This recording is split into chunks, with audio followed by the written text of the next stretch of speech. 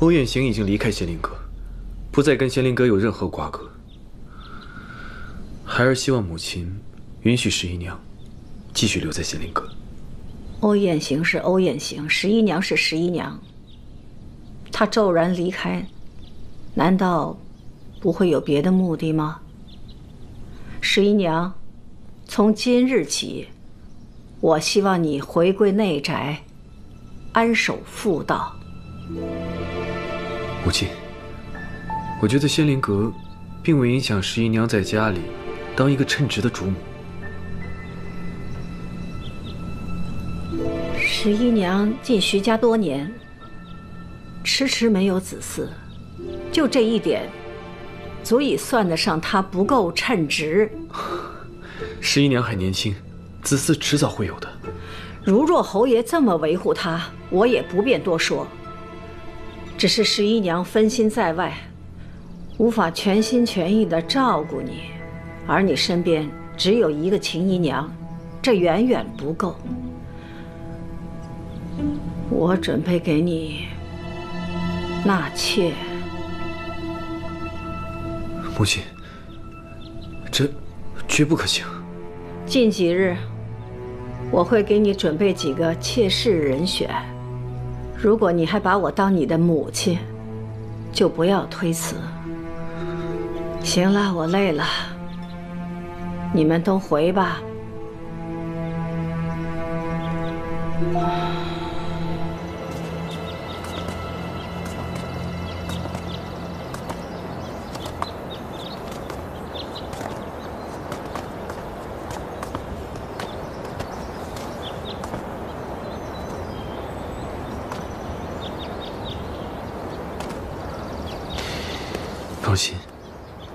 无论如何，我都不会纳妾。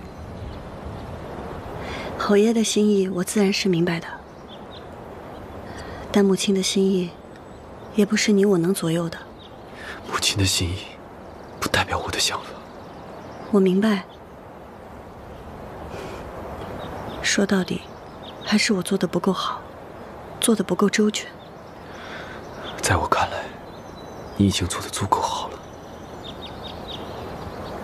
我只希望你能顺心而活，一切有我。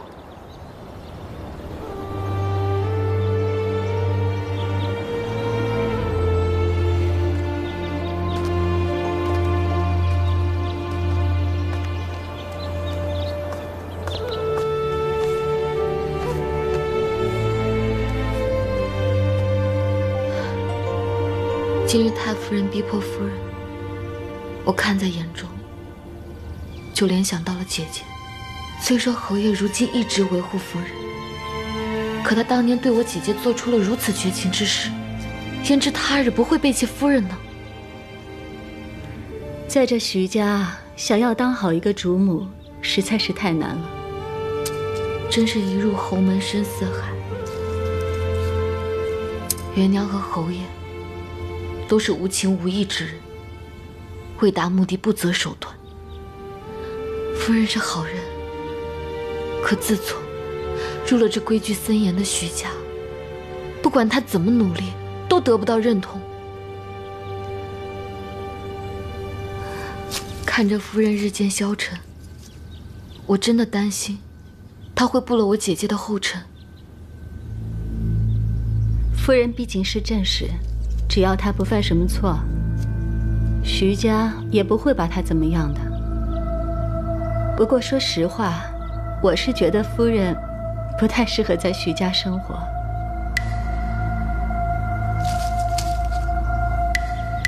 秦姨娘，您此话何意？你看啊，夫人在说起仙灵阁的时候，眼睛都会发光，那神情多快活呀！或许对夫人来说重要的从来不是荣华富贵而是能过自己想过的生活。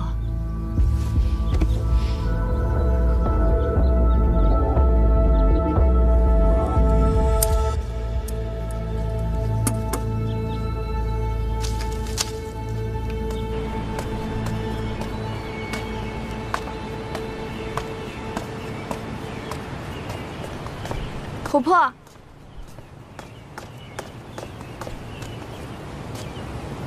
你哭过呀？怎么了？没事，我只是为夫人的事担心而已。担心什么呀？你担心侯爷要纳妾的事儿啊？你放心，侯爷不会那么做的。你又如何确信？若你中意一人，可你的爹娘不答应，你敢违背他们的意愿吗？嗯，早知今日，还不如当初让夫人签了和离书离开徐家。离开侯府，你想的挺容易的，但是女子和离是要受千夫所指的，而且罗家肯定就不会再接受夫人了。那你要夫人下半辈子怎么办？可夫人当初一无所有，她宁可逃婚，也不愿意被这后宅束缚。如今夫人有了仙灵阁，更有了自食其力的能力。徐家人如此逼迫夫人，以夫人的性格，她会被合力带来困扰吗？啊，你这都是什么歪理？而且侯爷对夫人这么好，为什么要合力啊？冬青，人心是会变的。我觉得侯爷是不会变的，侯爷肯定会帮助夫人度过这次难关的。侯爷，侯爷，你以为你真的了解侯爷吗？何况我们现在在说夫人的事，你为何张口闭口都是侯爷？那夫妻本就是一体，夫人有难，我当然第一个想到侯爷了。我看未必。冬青，有一句话我如今必须要说出来。我觉得你对侯爷的敬仰和关心，已经超出了一个做奴婢的本分。你这是什么意思啊，琥珀？我是想劝你，看清楚自己的心。你到底在想些什么？你今天真奇怪，我同你好好说话，你跟我阴阳怪气儿的，我不同你讲了。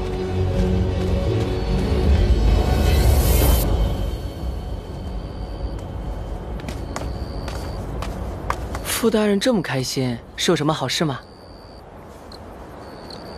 如何？漂亮啊！傅大人是要准备送给冬青姑娘。你怎么知道？从我发现你老缠着冬青姑娘开始，我就知道了。鬼机灵！侯爷在吗？在里面。